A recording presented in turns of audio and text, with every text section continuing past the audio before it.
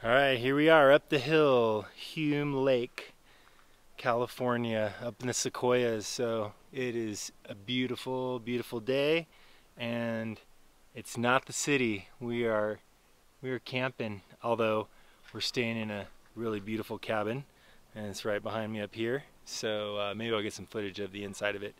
So next couple days we'll be up here just hanging out, family. There is no, if there was little reception at my uh, parents' house, there is no internet, zero. There's zero internet and uh, very, very little cell phone reception. So I'll, uh, I'll have to deal.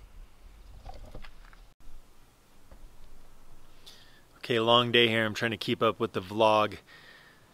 This has uh, been a great lesson in unplugging.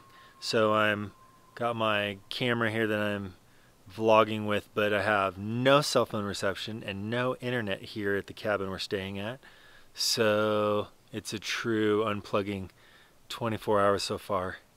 so, but I think it's good. I woke up this morning and I I read some in a book, which I haven't done for in a while, just un uh, distracted, relaxed reading and just hang out with the family and kids. We went to the beach for the day, jumped off a rock, did a front flip, um, had fun. Yeah, just unplug, super unplugging. So, all right, this is uh, what is today? See, I don't even know. It's June 15th, Thursday, June 15th, vlog number 15. And uh, I'm signing out and I'm going to go relax with some friends. And yeah, that's it. Peace out.